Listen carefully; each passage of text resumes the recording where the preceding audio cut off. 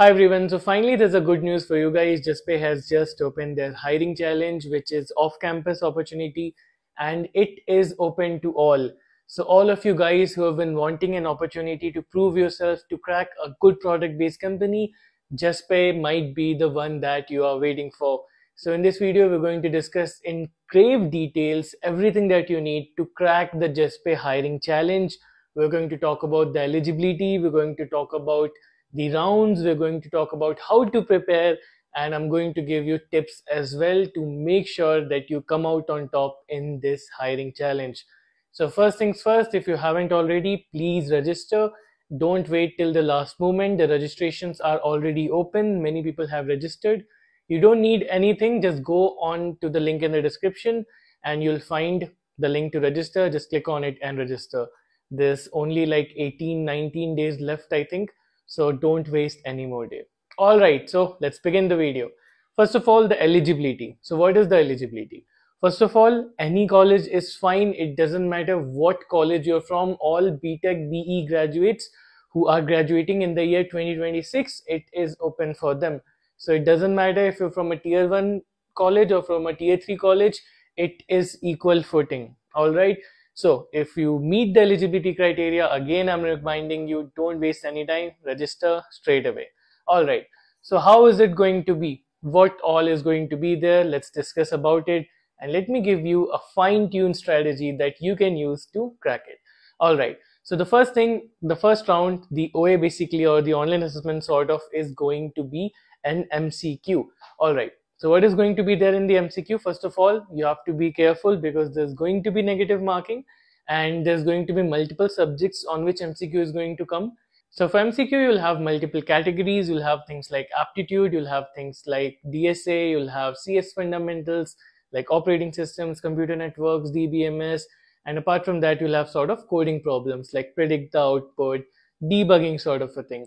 So how do you prepare for it? Let's go one by one. Now, the first thing is aptitude. So aptitude is going to be easy. It is not going to be difficult, but do not underestimate it because a lot of people make mistake in aptitude and it ends up bringing your score down. So be very careful with aptitude and how are you going to practice for it? You're going to use indiabix.com. So indiabix.com is pretty much the best website for preparing aptitude and the topics to focus on, the majority topics that I have seen that students struggle in are basically quantitative, quant basically, you know, numerical ability, those sort of thing, and logical reasoning. So make sure that you practice a lot of questions from indiabix.com. Apart from that, you can go on testbook. So there's a site testbook.com where you can give mock rounds.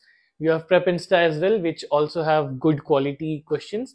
So you can practice from all these three websites and every resource will be in the description box. You don't need to make notes. So make sure that you practice aptitude well if you give a week or two week of practicing aptitude continuously then yeah you're going to be good for aptitude. It's nothing too much. It's nothing of a huge deal right? All right. Now the second category that we have is cs fundamentals. Again don't underestimate it. This is something that you're going to have to practice especially if you're from a non cs background right? So how are you going to practice for it? What is the strategy? Here's what you're going to do. So first of all as you know cs fundamental is divided into four subjects you have OOP, you have CS, CN, computer networks, you have OS, and then you have DBMS. So what you're going to do, you're going to find the important topics from GFG last minute notes. So just search OS Geeks for Geeks last minute notes. You'll find the most important topics from there. What you're going to do, you're going to make notes, just take from GFG last minute notes and then practice from it. Apart from that, one thing that you can do is you can take CodeHelp's channel. So Love Babbar has a CodeHelp channel in which he has very well organized CS fundamentals. You can learn from there. And apart from that, for revision, just practice top 50, top 100 interview questions. Just go on Google, search top 100 OS interview questions, and you'll get many questions. Many of them will be MCQ. Just practice from them. And again, before the exam, just practice from the notes you have made or practice from Geeks for Geeks last minute notes. Okay. Now, for DSA coding, it's not going to be much difficult because obviously it is MCQ. So if you have a good basic knowledge in DSA and if you have a good knowledge in the syntax of the language you're in, it's done for. It's game over.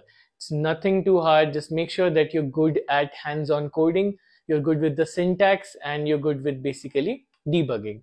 because you can expect questions like this. All right. So if you do this much, this round is completely over, easily crashed. Now we come to the next round, which is one of the most important round, and this is the coding round. Now, coding round will have two to three problems. You'll be given around 90 minutes to solve them.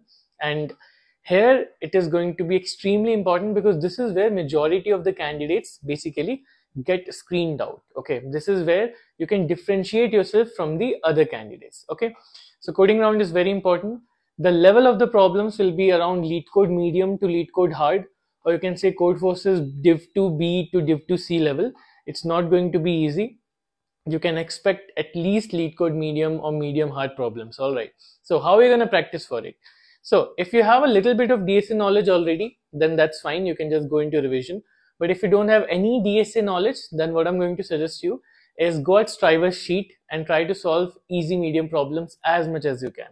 Striver's sheet is pretty much the best for clearing any company's you know online round or coding round. So try to practice as many problems as you can from Striver sheet. What are the most important topics? The most important topics you have graph, you have tree, you have arrays, you have strings, you have greedy. So linked list stack and queue are also important, but not as much as the previously mentioned topic. But graph and trees are extremely important. They are pretty much Juspay's favorite topics, right? Because even in the past all of the winners that i've talked to they always got questions either in interview or coding round from graph or trees okay? So make sure that you practice graph and trees. Make sure that you practice array strings some basic algorithms and do Striver sheet as much as you can in the remaining time. Do Striver sheet. Now if you've already done a bit of dsa and now you want to revise so for revision what you can do you can just do Juspay tagged problems so I'll give some link in the description. From there, you can find just Juspay tagged questions, meaning PYQs. What Juspay has asked in the past, you can practice from them. Apart from that, you can use Striver 79 or uh, NeetCode 75 to basically revise your DSA concepts. If you do this much for DSA, it is going to be easy. It is not going to be too difficult. It is around medium hard. If you have a good level in DSA, you'll be able you'll be able to clear it. Now, one very important part for clearing the coding round is time management. Because when you're doing LeetCode you relax you don't have a timer going on but in a contest it's a different scenario. You can see the timer running you have test cases that you need to clear so you need to be accustomed to it. So make sure that before the coding round you have given at least 5 to 10 contests. You don't need to wait for actual contest on LeetCode or Codeforces you can give virtual contest okay? So try to give contest on Codeforces i'll suggest give div 2 on Codeforces or div 3 and try to give LeetCode contest. On LeetCode, try to solve up to two problems, and on Codeforces, try to solve the first three problems in Div 2 and the first four problems in Div 3. So make sure that you're doing time-bounded practice to be prepared for the coding round. All right, now once you're past the MCQ round, you're past the coding round, now comes the main part and what Juspay is known for is basically their hackathon round. So I was receiving a ton of messages, right, from people saying that they only have a bare minimum development experience. They don't have much knowledge about dev or building projects. What do we do for hackathon round, right? So first of all, I have made two extremely good videos about how to win any hackathon. I highly suggest that you go and watch that video. Both of those videos are very good and they will show you the mindset that you need to have for cracking a hackathon. But what can you expect in the hackathon round? So you'll be given a problem statement and it will be something related to fintech or some financial product or something like that. It can be anything else also, but this is what generally you can expect. You'll have someone guiding you, you'll have someone who will be overseeing you and even interviewing you or testing you at times, right? So it's, it's not that you're building alone. So for two days, you'll have to build the project and you'll have to like a similar to any other hackathon right? You'll get two days you'll have to build the project you'll have to build the product. Now what do you need to do? So first of all you need to have good hands-on development experience. It is very very very important. So make sure that you know basics of first of all html css javascript. This is a must. Above that you need to know react. For front end for back end you can learn something like spring boot or node.js so if you have zero knowledge, if you have zero experience, what I will suggest to you is go on YouTube, find a crash course or crash video in which they're making a full stack project. I'll also give some examples in the description. Feel free to pick one from the description. But see an example video where they're building a product right from scratch, sort of in a crash sort of a thing, right?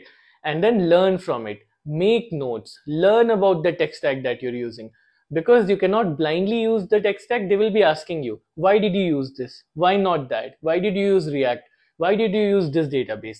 So learn a bit of front end, learn a bit of back end, learn databases.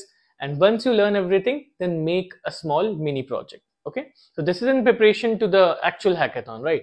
Make a mini project and try to do everything yourself. I would suggest not to copy paste, at least for practicing, because, you know, in the hackathon, you'll not be able to do that, right?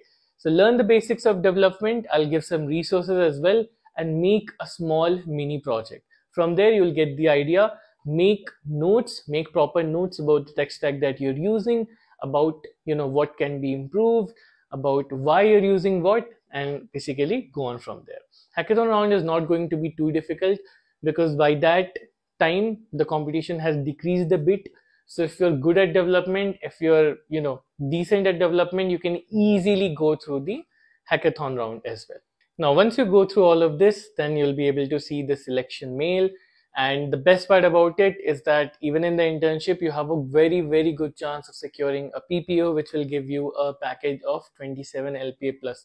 And if you're worried about the interview, then I've also made two, three Juspay interview experiences. You can watch that as well. They are very, very good videos.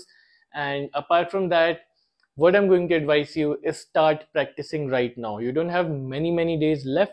Start your practice right now. Divide your time try to give around five to six hours every day divide your time into practicing aptitude practicing dsa giving contests you know practicing cs fundamentals and try to manage time very well and before the hackathon before the coding round just do proper revision and you'll be ready for it so start working and don't be worried about the competition i've seen so many students don't register into this because they're worried about the competition they're afraid of you know basically losing out but don't be worried, just register, start working hard, and you have a very good chance of getting shortlisted. And even if you don't, you'll have some really good experience from this. So, yeah, let's not waste any more time. Make sure that you register and leave a comment if you have any other doubt, and make sure to check the description box out. So, yeah, that's all. Thanks for watching.